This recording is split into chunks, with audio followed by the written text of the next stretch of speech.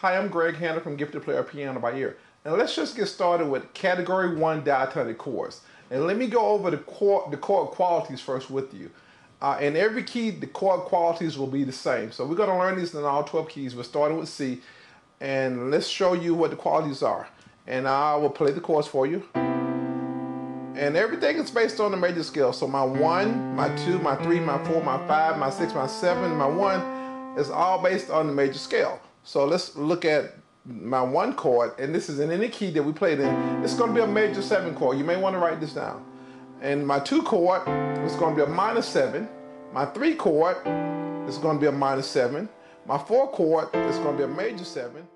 If we wanted to play more jazz flavors, uh, traditional, we'll use those diatonic seven chord. But for for contemporary pop style gospel playing, contemporary worship, and, and uh, R&B and neo soul and those kind of genres, we have to use these type chords because these are the ones that most seasoned musicians are using.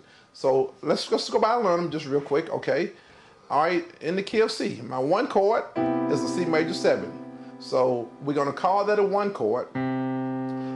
I'll C major seven because I got a C in the root, and I got this other triad on top. And a major seven chord is no more than thumb root learn them once you get them on your fingertips. You can experiment with rhythms. You can actually not have to play them as full block chords. You can play them in rhythm. One, two, three, four, five, three, two, one. Now experiment with rhythm. Make your own.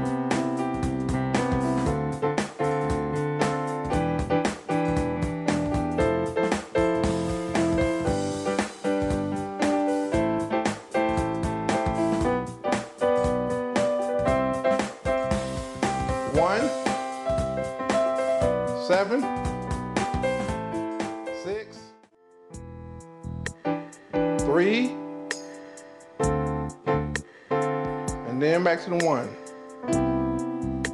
So those, that's just an example of one the play along tracks that you'll be able to use to play these songs. So you got to practice with a rhythm. We got faster tracks, so once you really get them on your belt, we want to be able to play them real